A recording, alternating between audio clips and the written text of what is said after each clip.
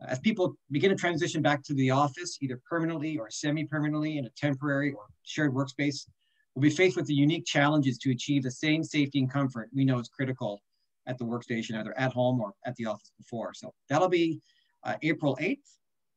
Just a little bit of housekeeping for today. Uh, at the bottom of your screen, you can put some questions that you have as we go through this presentation. It will be interactive. We are going to be incorporating Menti into today's presentation as well. So if you go to menti.com on your phone, the code is in the chat section there as well. Today's presentation is going to be recorded. You can request a copy of the recording. We don't send out the actual presentation itself, but you can request a copy of the recording on our website 48 hours after this, this finishes. Just bear in mind that um, you can't get a CEU credit for watching the recording. You gotta, you gotta watch it live. Um, as far as our, our, our, timing will go today, we'll spend about 45 minutes, or sorry, 50 minutes in the topic. It's gotta be 50 for the CEU with 10 minutes of questions. And before I hand it over to our speaker today, Annette out of New Jersey, we're getting international speakers. In the last couple of months, we've had uh, London, Los Angeles, uh, Toronto, New York. Now we're here with our speaker from New Jersey. Uh, and Annette has uh, been in the design office furniture industry for 25 uh, plus years, first as a designer, then in manufacturing sales. She's practiced interior design in the UK, Germany, and the United States, focusing on commercial interiors before joining the furniture industry as architecture and design market manager. Annette's design background, coupled with a passion for workplace and her experience in the office furniture industry led her to her pre present role. And that facilitates and engages customers on topics that includes visioning, co-design, change planning, innovation, and workplace effectiveness. As part of Teknion's CEU faculty, she's also a seasoned presenter of several CEU presentations related to workplace strategy, including the Jetsons, the Focus Game, and today's presentation, the Discovery Dilemma. So without further ado, I will hand it over to Annette. Thank you so much. Good afternoon. Good afternoon, everybody, or I should say, I guess it's it's just afternoon for you. Um, we're coming up on three o'clock here on the East Coast, and it's just such a pleasure to be with you. And I'm just blown away by the attendance that you have. So um, welcome, and we're going to go on a little bit of a journey together as we talk, talk about problem solving. And before we dive into that, and I'm just about, I'm going to share my screen with you right this second. But before doing that, uh, it would be helpful if you have a piece of paper and a pen or a pencil handy because there are going to be a number of exercises that we are going to do together. It is very much an interactive uh, workshop. So paired, there'll be some analog elements to it as well as things that you can do with Menti. So uh, without further ado, I shall now share my screen with you. Here we go. And uh, Tracy, can you give me a thumbs up? You can see it? Great. Yes. Thank you so much. So the code that you'll need to type into your phone is 1229 7243. And once you hop, get onto the Menti, if you could just either hit one of those icons, either the heart or the question. If you have a question, the question mark, um, or thumbs up, that would be great. That'll give me an un understanding of how many people are actually logged on. We have 44 people, 47 so far on the call. So I'm be looking for a good number of folks on the on the Mentimeter. Great. Thank you. And certainly if you have any questions, I'm happy to answer those at the end of um, the presentation. If you can just put them into the chat box, that would be fantastic. Thank you. All right, well, let's move along here. So, all right, so the discovery dilemma. Let's face it, within the last year, we've been asked to tackle some really big, big questions and solve some really big, big problems. And I think we can all relate to that. Um, and in doing so, there's a lot of pressure being put on us to come up with creative ideas. And we are finding it increasingly more difficult to become inspired and come up with these new ideas and to solve very complex problems. Often when we're faced with a complex problem, we tend to jump to the solution, but we may exclude a critical part of the creative problem solving process. And for those of you who are designers, something that is very familiar to you is of course discovery. So through this interactive workshop, designing thinking principles are going to be applied, bringing the discovery process to life. Simple and effective tools used to define and solve complex problems are shared throughout the presentation. The next series of engagements and conversations that we'll have are meant to be used in any context when problem solving is necessary.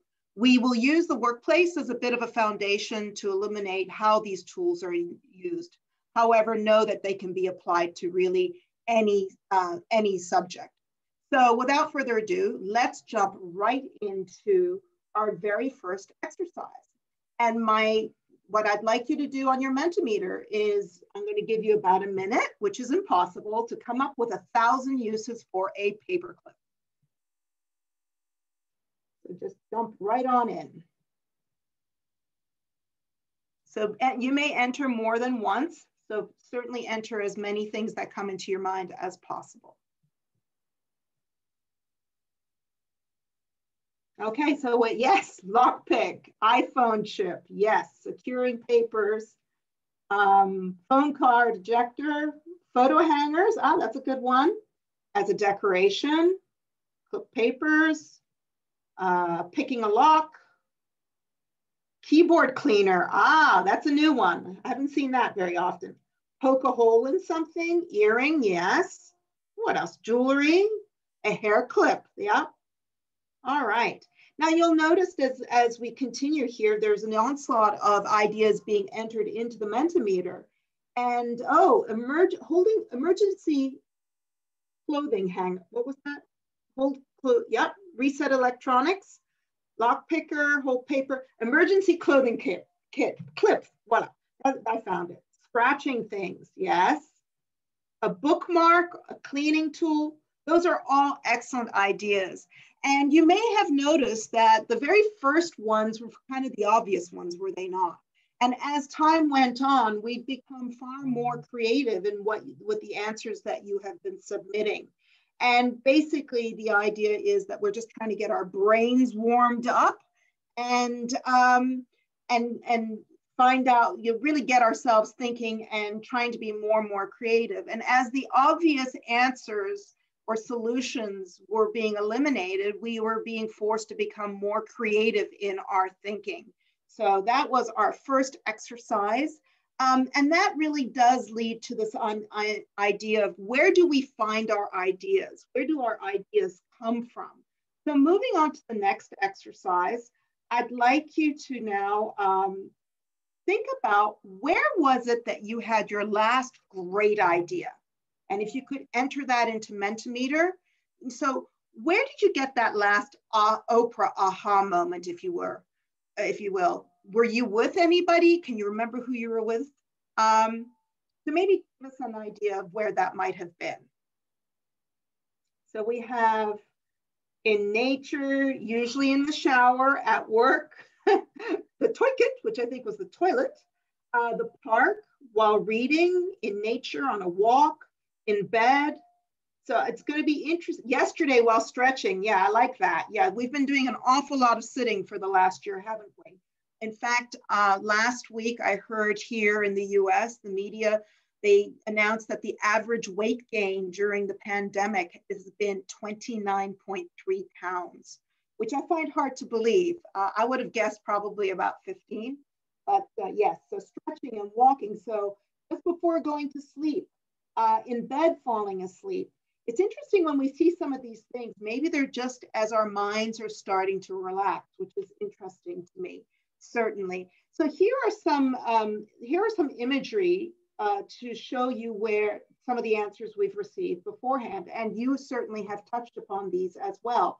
So certainly while outside walking in nature, um, the next one was while exercising, especially outside. I think for those of you who are runners, there's nothing better than going out on a run and just emptying your mind, if you will, and allowing space for the ideas to creep in. Uh, the next one is while listening to music. For some, music is definitely something that inspires us. And I saw this one up on our work cloud while reading, which, uh, which is great. Uh, certainly in the last year, I found I've had less and less time to read, so I'm making more and more of an effort to actually open something that's analog, such as a book, something physical to read, and that helps. Here's another one while driving. I mean, many of us spend hours in our cars, right? Um, going to see clients and customers.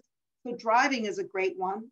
And then um, for some, maybe we're inspired by incredible architecture. For those of us who've traveled all over the world and abroad, I mean, there's something so inspiring, isn't there? Or when you're in London or in Paris and, and other great cities. Um, certainly, I love Vancouver. I've been to Vancouver several times to visit with uh, Tracy and with Renee, and I have found going out there and going out to the island has been absolutely inspirational.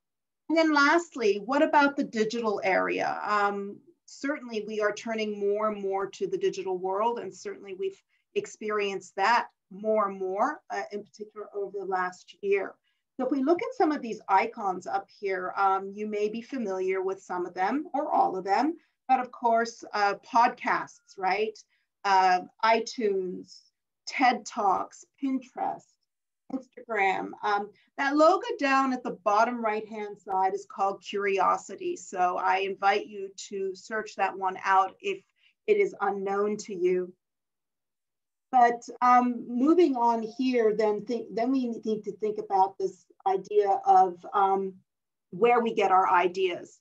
And you already have um, given us some great ones, and they have certainly shown up in this slide here. So what we're looking at here is Teknion did conduct a worldwide survey several years ago, and we asked that question exactly to um, folks. And um, I'd love for you to guess which one, you know, what percentage of folks decided that the commute was where they had their best idea or work, exercise, shower, or vacation. So if you could enter on your Mentimeter where you thought people thought uh, they had their best idea. So you can just vote actually. If you want just want vote for one, that's fine too. So for many people, it's okay. So the commute, it, well, vacation's in the running still, so that's great. What I love about Mentimeter, especially in the work that I do with clients, is it allows us to see individual responses. And as we know, averages do mask individual responses. So it's interesting to see exactly where the responses are coming in. So um, we have found it to be an exceedingly uh, helpful tool for us in our work here at Teknion. Um, so we have commute, work, exercise, shower, vacation. Yep. So for this group, it would appear that shower is your, fir your first response. Okay. Well, we're, I'm going to share with you what our actual, uh, our actual uh, answers were that we, we were able to collect. So for 44%, it was the commute, interestingly enough. I don't know about you, but in the past year, having lost the commute, and I don't know how what your state is in, in Vancouver, but certainly here in New Jersey, we have a mixed bag. We're still predominantly, we are still working out of our homes remotely. Um, and certainly we're not, uh, a long commute is not something unusual for us. So quite frankly, I don't miss my hour and a half ride into Manhattan uh, each way. However, I do kind of miss that time. Um, I have found to sort of ramp up my thoughts for the day and also to just dial it down in the evening on the way home. So the commute was 44%. It was 30% for exercise. And then we went into vacation. Uh, and interestingly enough, 5% in the shower. And for most, that was quite, uh, for many of us, that was our first answer, right? Um, but the biggest surprise is to find out that only 1% of folks that had been surveyed had their last great idea at work, which is really quite sad, isn't it? To think that most of us are being paid for our ideas and to be creative, and to think that maybe only 1% had that at work is really um, problematic, I would say. So moving on, I think what we also realize is the need for great ideas. We need to discuss our ideas and we can somehow realize that maybe uh, we can agree that some of our best ideas start as conversations. So if they started as conversations, how do we get better ideas? You know, how do we solve better problems when we think our idea is the right idea? And how do we have better conversations? Um, so that's what we want to do today is talk about how we can have some of these conversations and also talk about where do we go to find the answers when we want to solve our complex problems. So uh, moving on, where do we find answers? And uh, quite frankly, most of us do something that comes to us quite naturally in this day and age is we will quite likely just Google it, right? It's Google has become a verb. I'll just Google it. So interestingly enough, this slide or this screen um, screenshot I took about, I want to say just um, over a year ago, probably. No, actually, that's not true. I took it last July. Now that I think about it, it was last July. As of last July, there were 65,800 Google searches in one second. I checked today to see what that number might be. And bear in mind, when we wrote this CEU three years ago, the original number was around 48,000. So in two, you know, two years, it went up 20,000. Now, having checked it today, today it was 90,652 which really speaks to the fact that we are really, really screen, really glued to our screens and more and more so. Um, we are spending more and more time in front of our computers and we are indeed searching for our answers online. Interestingly enough, that really accounts for about 3.5 billion searches a day. 76% um, of all searches on the internet are done on Google. And believe it or not, 16 to 20% of the results are actually brand new results. So, um, and then this one I found very interesting as well is that over 60% of searches are conducted from a mobile device, not from a laptop or a desktop computer. So I thought that was rather intriguing. Um, so we think about that. So thinking about Google, um, just I'm curious to know, which do you think is the most popular how-to question asked on Google? Is it how do you download a YouTube video? How to get pregnant? Uh, how to register to vote? How to tie a tie? Or how to lose weight? I'll just give you a second to answer that question. So we're still at lose weight. I think that's going and that's falling in line with our pandemic weight gain, isn't it? YouTube videos, yeah. Okay, so the vast majority of uh, those of us in our virtual workshop room here to gathered here today think that it is how to lose weight. Well, interestingly enough, um, and I must confess that this one I did not have time to update this morning, but when I did do it last uh, last summer, the number one uh, question asked on Google, unsurprisingly, was how to register to vote. So given our rather tumultuous year that we had, I guess that's not so surprising. So I do need to take a look and it'd be interesting to see what the new one is. But in years prior, in all honesty, it was usually how to tie a tie. That's typically the answer, then how to lose weight. So that's just uh, a little bit of uh, trivia for you. So moving along, we also search not only online for answers, but what about our, you know, our digital assistants such as Alexa? And we love to think, think about it. If you have an Alexa, I would love for you to ask Alexa, uh, not this very second, but next time you happen to interact with her, what is happiness?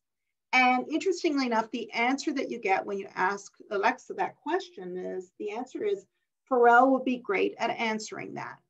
So it's interesting, is it not? The minute you go to something where you don't have a conversation, you're getting a set answer. So maybe it's not such a great answer, or maybe it's not the type of answer that we're looking for.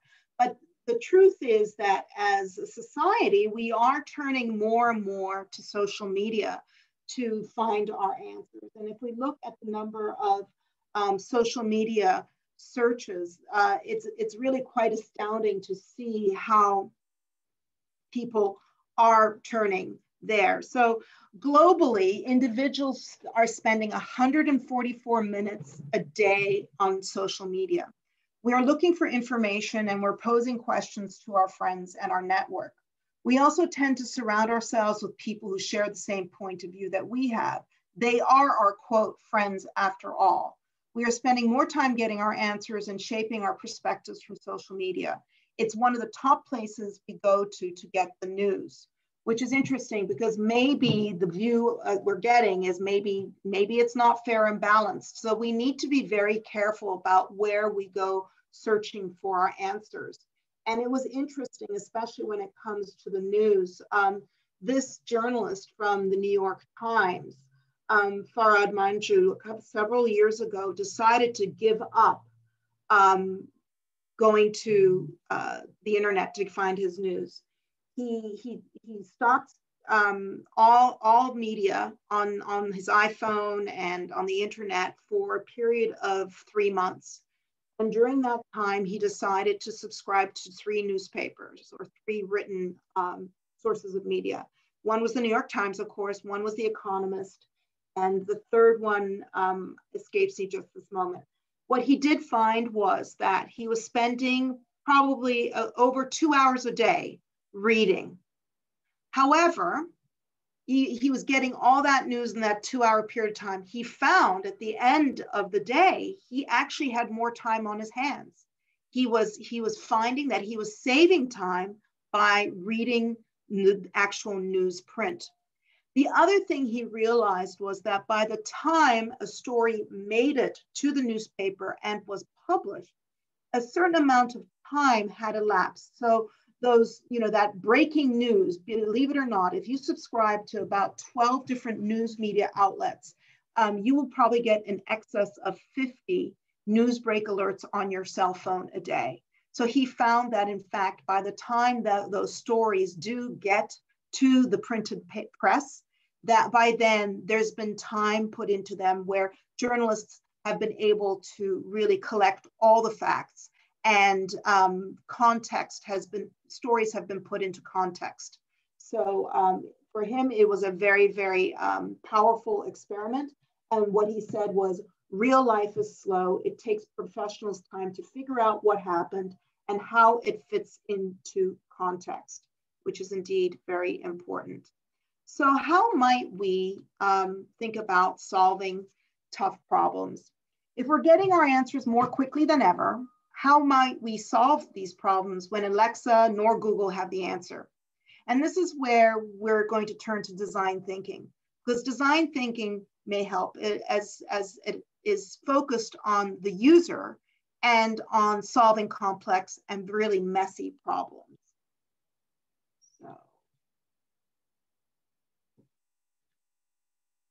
I'm just going to play a clip here for you.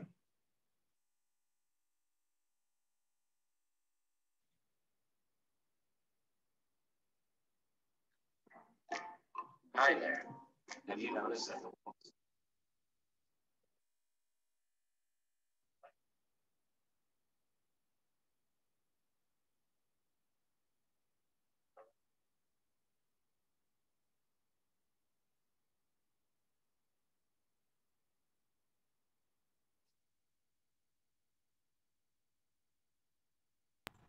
seem to have lost sound. It started at the beginning, but now there's no sound.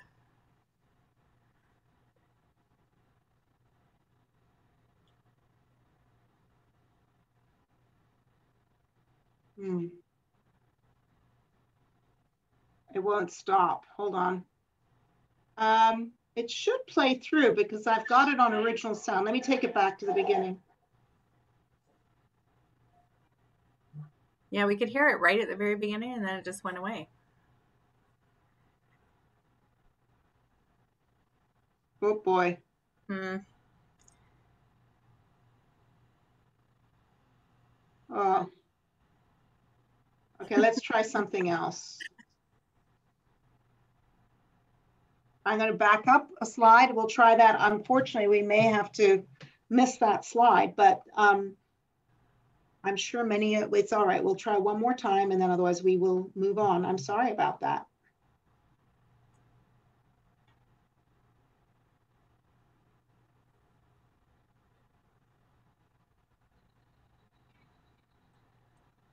No, no sound. All right, well, I'll just let it play through. Mhm. Is, is there a link we could send everybody after? Yes. Yeah, okay, we can do that.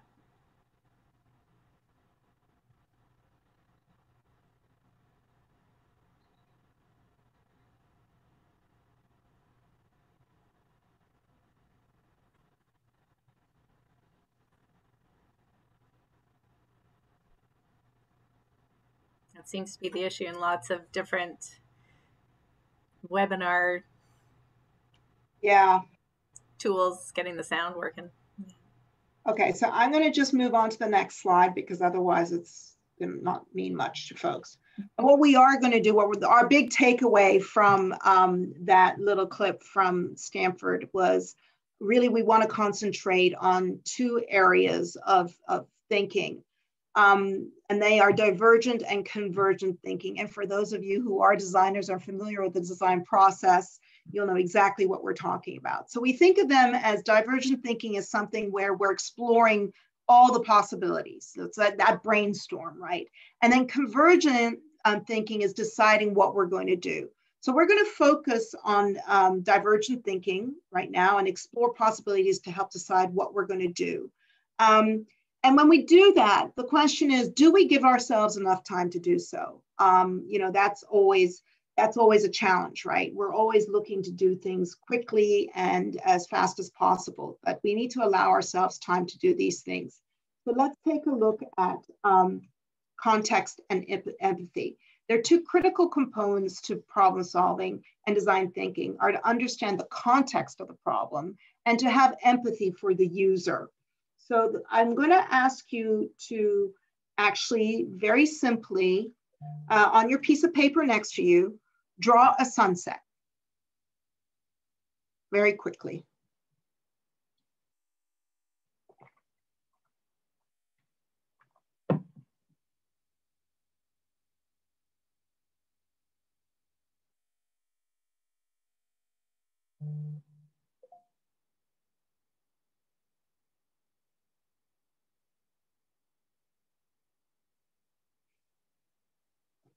So the next thing once you finish your sunset, I'm gonna please draw the last sunset that you saw.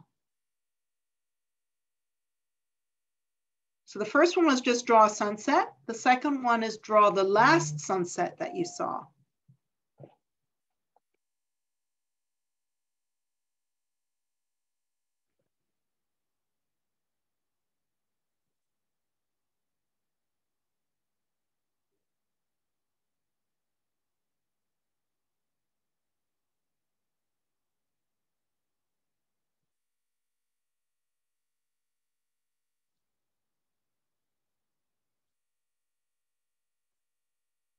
All right.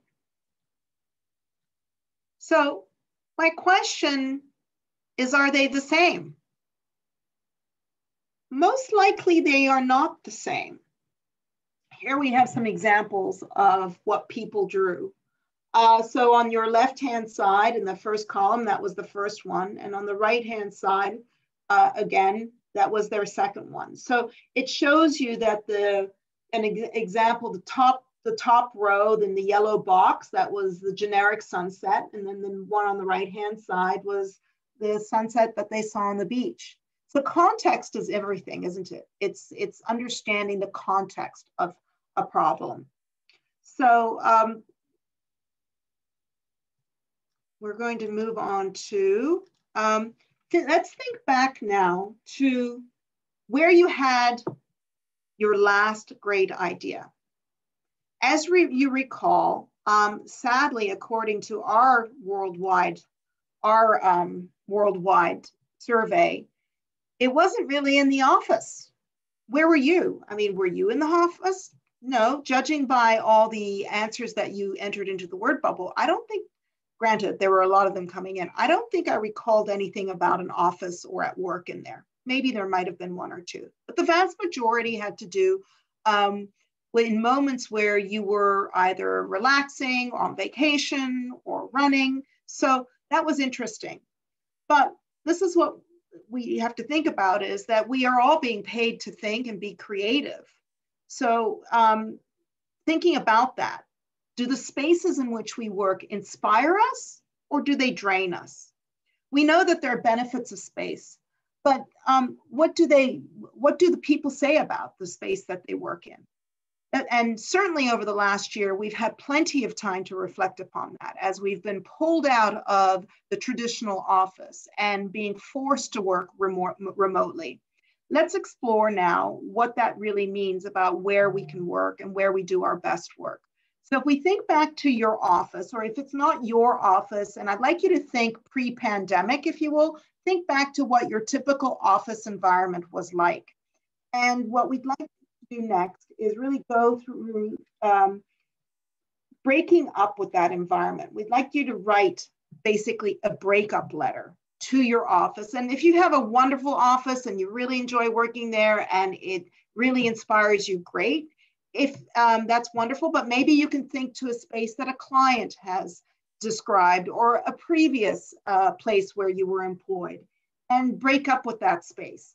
So what we're going to do, we're going to do this a little bit more creatively. We're going to simply enter into Menti what are the reasons that you would want to break up with a dreary, drab office environment? Or, in fact, today, if you are working remotely and you don't want to be working from home, why, you know, why do you want to break up from your place of work today?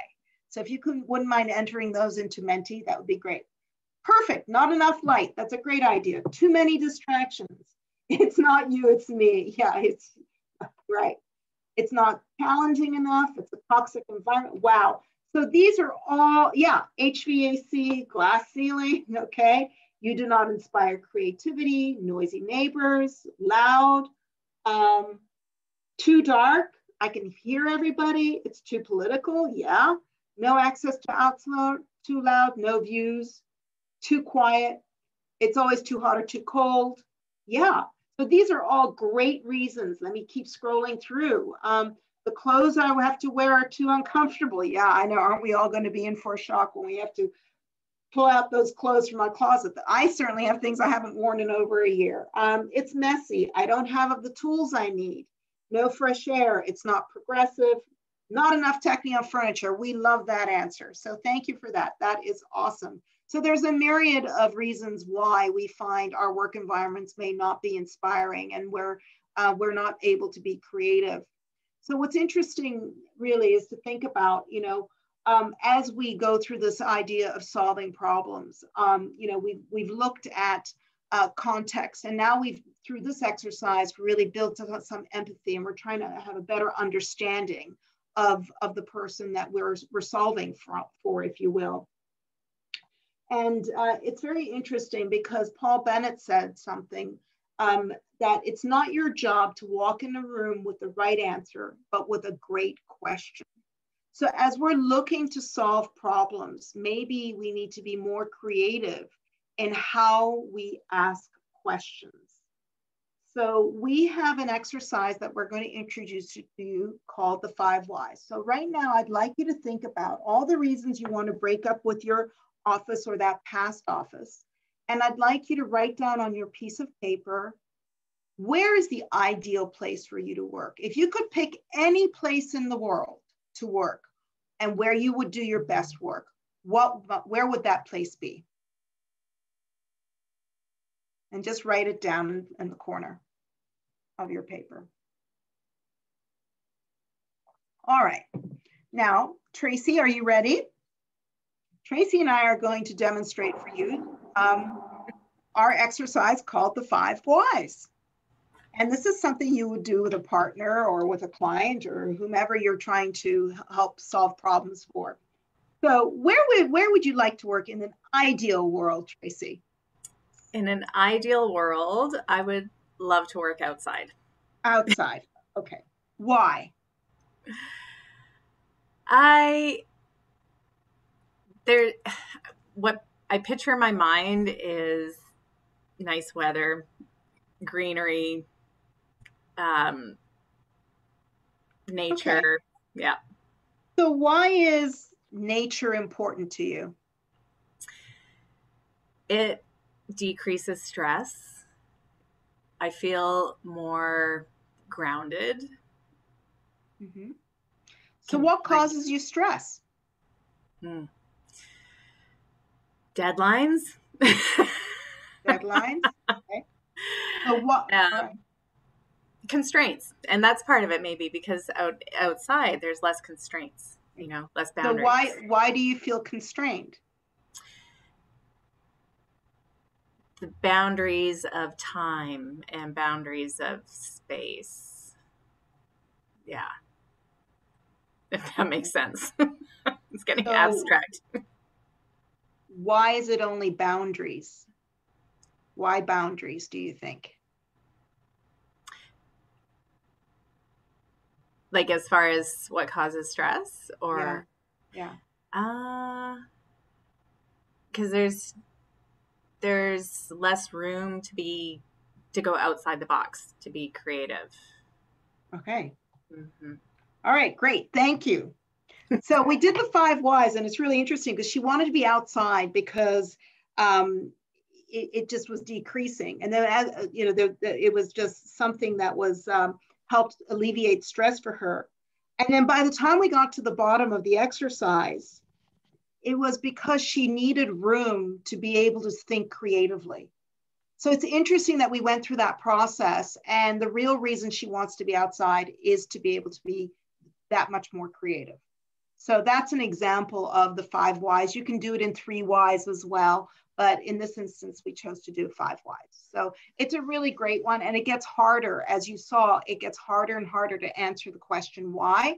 But as and it's going back to the paperclip, right? That paperclip ex exercise, um, it's really get, delving down into the heart of the matter. And by the time you ask why the fifth time or ask that fifth question, you pretty much get to the true essence of the why. So thank you very much, Tracy, for um, helping me demonstrate that exercise. So that's something for you all to think about. And maybe um, you can ask a colleague this afternoon and just having shared, written down on your piece of paper, you can just go through that exercise after um, our time together today. So the next thing we're going to talk about, I'm going to share with you another tool, um, which is going to help us understand um, a little bit more about how we can frame problem solving. But first of all, what we have covered so far is that we've talked about context and empathy and how they are essential to the discovery process. And we did that through the sunset exercise. Then we wanted to um, really seek to discover some more. And we did that through the process of writing the quote unquote breakup letter. And by the way, when we do this in person, that breakup letter usually takes a lot more time. With Menti, we're able to really get through it rather quickly. And then lastly, um, we wanted to ask questions by not provide, you know, but not provide the answers. So I, you know, I never really gave Tracy any answers. She was constantly, uh, it was only at the end that I kind of tied it up, if you will, in a nice little bow. So those are the three things we did. But now it's time for us really to talk about defining the problem. Or um, we're going to talk about what we call the ideal state. Um, and I'm going to share with you this little diagram here. And we, we call this, um, sorry, this diagram's formal name is the Ishikawa diagram. And for those of you who are familiar with uh, process improvement, such as Lean or Six Sigma, you may have already seen this. However, we're going to take this diagram and use it in a little bit of a different way to map out some of our problems. So when we talk about the cause and then the effect, so the head, if you will, is considered where you put the problem or you could state the ideal state, if you will. It's critical to articulate after discovery because as in groups, we may not be really clear on what the true problem is. So it's really um, vital to truly define what are you solving for. Um, the bones are what we call the causes. These are the, the, the blue boxes. In these blue boxes, this is where we put our big ideas. And then the smaller lines really are additional details that support these big ideas. So um, I'm going to give you an example of how um, this can be used as a tool. And typically when we run this in, in a group together, we would say, okay, let's brainstorm. So I would ask you all to get out your post-it notes and we would have posters there and post-it notes and I'd ask you to brainstorm. And I'm going to just simply give you an example of a brainstorming session that was done by a sales team. And this team was asked to um, think about what makes what makes for um, you know what were their goals going to be it says a great week at work but actually i'm going to since uh, you can see these post-its i'll say exact it was actually referred to what were their goals going to be for the year and they were asked to really just generate all these ideas which they did and every person just threw them up on the wall on post-it notes afterwards they were asked to go through all these post-its and then group them into groups and these groups really became what we call those blue boxes. So for example, for the instance here, this was, oh, it is the ideal work week. Well, then I'll go back to that. But I think I have another, I might have another one for you. Okay, I do. All right. So let me just move forward to the, the um, there, the team vision. There we go. They were asked to figure out what that vision and the goal was going to be for the year and they regrouped all their post-it notes and landed into these buckets. One was revenue growth, one was people growth, the other one was inspiration, uh, distribution, working internationally and looking at scaling their, um, their, their, their, their team efforts, if you will.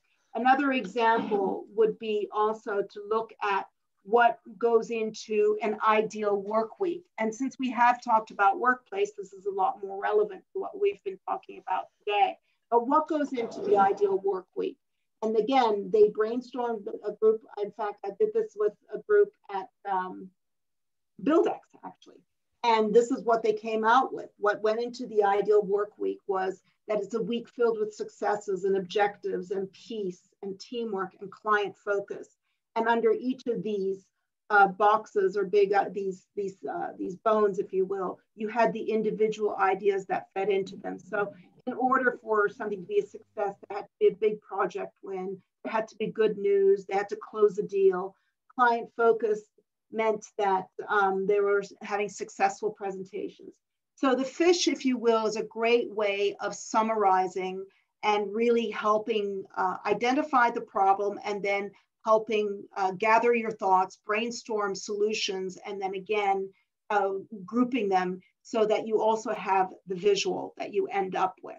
So that's how we took what was a, a, a tool meant for Six Sigma and turn it into something that we felt could be applicable to solving problems. So um, as, as I conclude, that really brings us to the end of our, um, our presentation today.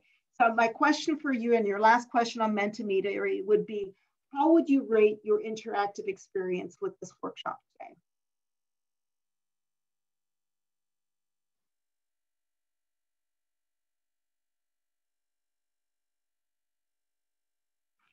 Well, that's great. That's wonderful. I think, you know, the funny thing is when we did this probably about six months ago, we might have had one or two outliers. Well, we have one outlier today, but it's interesting. I think we're all pretty much um, zoomed out. So the fact that most of you found that this was helpful and drew you into the content, thank you very much. And um, without further ado, I'm going to turn it over and ask if there are any questions. Great. And if you, just as everyone kind of thinks about a couple of questions, I'll just um, uh, just remind everybody that, that I'll let you know that the next three seminars that we're going to be doing are going to be based on the post-COVID environment. After every presentation, we have sent out a survey to the, all the attendees, and overwhelmingly, we've been getting this question back in various forms. So the next three seminars are going to be focused on ergonomics in the post post and work uh, post-COVID environment, all the way to uh, what floor plans and workspaces are going to look like. So stay tuned as we have this three-part series coming up over the next uh, six weeks. With that, I will open it up to have any questions. You're welcome to either type it into the chat or uh, just simply put yourself on unmute and we will um, look for the person who's speaking.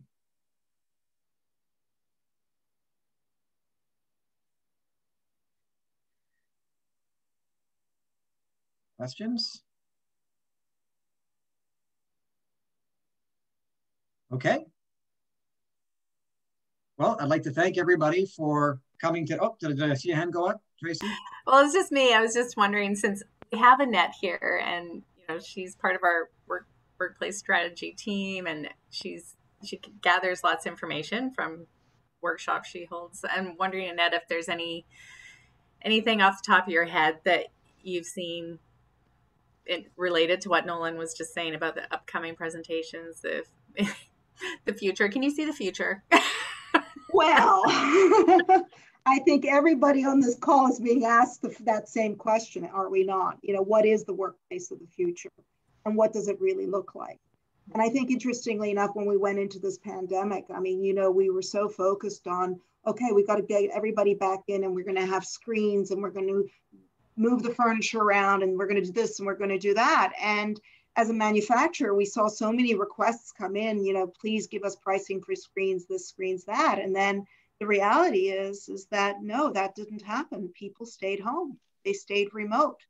Um, and then in speaking with clients, you know, we were getting ready when we when we published, I think back in July or August, the return to the office.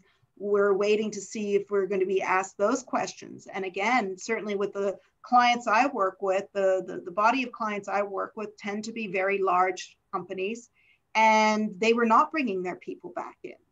So uh, all of a sudden, that that's kind of went on hold. However, the the question became, what does that future workplace look like? Does this mean now that um, we're going to have no more free address? It's going to be fixed address. We hear a lot about the workplace becoming a destination, becoming a cultural hub. We hear a mm-hmm. lot about the hybrid solution. And I mm-hmm. think what we've really done over the past year is do, do a lot of studying and listening, listening to our clients and finding out from them what is the solution that works best for them. And another question is, you know, if it is hybrid, how do I know who to bring into the office? What determines who stays home? What determines who comes to work? Um, how do you handle that? And then I had one client in August, they were gung ho, ready to go. They said, This is great. It gives us a great opportunity to really uh, reimagine our workplace. And they were very, very keen to turn everything into a collaboration um, area. And that was great. And then we ran a workshop, and several of their employees said, But wait a minute, um, yeah, I still need dual monitor screens. I still need this, I need that. So that speaks to Nolan's point about ergonomics. And I think if you think about it, when you know when we look at workplace, the one thing that we all do, regardless of where we are, is every single day there's some degree of focus work that we do that we do. So we need to remember that we still need to uh, support that, no matter where we are we have certainly realized that we do want to go back to the office um, for collaboration, for mentoring, for social interaction. There's so many reasons to go back. But also, if you look at the data that's being collected by various organizations and research groups, by and large, um, this people have been quite happy working from home, interestingly enough. So what we need to think about is how are we going to get them back in and what does workplace, what does that office truly mean and what is the right solution? And what's the right solution for one company doesn't mean it's going to be the right solution for somebody else. So right now we're really, really engaging with folks to find out what is their right fit. Uh, certainly there are lots of trends out there and I would say the trend is def- looking like we're all going to be going to hybrid, but that's not the solution for everybody. That's so hence, the, hence the discovery process, trying to ask the right questions and lots of questions, right? Exactly. It's a lot of questions, exactly. And understanding who wants to come in. And I think in the beginning, we all thought that, you know, the, those who had entered the workforce recently were going to be thrilled that they didn't have to come in, but actually the data proved the complete opposite. Um, people at the beginning of their career want to be in the office. They want to be mentored. They want to have social interaction. And, um, and then we also have realized that home environments are not ideal. Those folks who've done especially well at home are folks who have a dedicated office room within, within the home that allows them to work from home. Um, but then we have to recognize there are folks who are sitting on a sofa, and that's not a good thing either. So um, there, there are, you know, there's no one set answer. And it goes back to, yes, we have all these wonderful averages, but, but behind that average, you have to look and see where those individual answers are, are lying. So it is, it's, it has been, uh, it's interesting and I'm very excited to see what, where we are. What we do know is that most, you know, the trend was already starting to go to hybrid and work more and more remotely. Uh, what the pandemic did was really just set a, a, level playing field. Everybody was forced into it. And certainly organizations that were hesitant about it were forced to really uh, think about it and uh, learn how to work that way. So it's interesting. Yeah. A question from sure uh, Jennifer. Mm -hmm. So we have a question from Jennifer. Yeah. yeah. I just wanted to make sure I was clear on the conclusion of this uh, webinar. Um, is it really about our current environments are really not conducive for ideation and discovery, or just to help kind of implement some ideas on how to improve our discovery process? Thank you, Jennifer. That's a great question. No, the purpose of the workshop really is to share some ideas on how we can uh, go about solving some problems in different ways. And really, it's about sharing those tools. Um, you know, I'd like to think that most office environments are conducive to being creative, but we just happen to use the workplace as an example. Uh, but by and large, all these uh, these these tools were designed to be used for any any any question really. But thank you for that question. Thank you. There, okay. There's a question in chat too. Mm-hmm. Uh, it just says for the beginning stats, who was surveyed? U.S. only. Worldwide. Okay, excellent. Well, I'll see you all on the 8th when we talk about ergonomics in a post-COVID environment. It's going to be very interactive. Uh, I'd also like to extend the invitation to any of your significant others that would like to join that discussion because a lot of, uh, you know, we're in the industry, we get to talk about ergonomics, ergonomics from time to time, but people who aren't in our industry almost never get to be able to talk about it unless they get injured and they talk to an ergonomist. So Feel free to invite your significant other to the upcoming ergonomics webinar. I promise it will be relevant whether you're working at home, working in the office, or working in an office where you have to share your space with somebody else. Thank you everybody for joining today. We will see you on the next webinar. Thanks, Annette. Thanks. Bye-bye. Good to see you.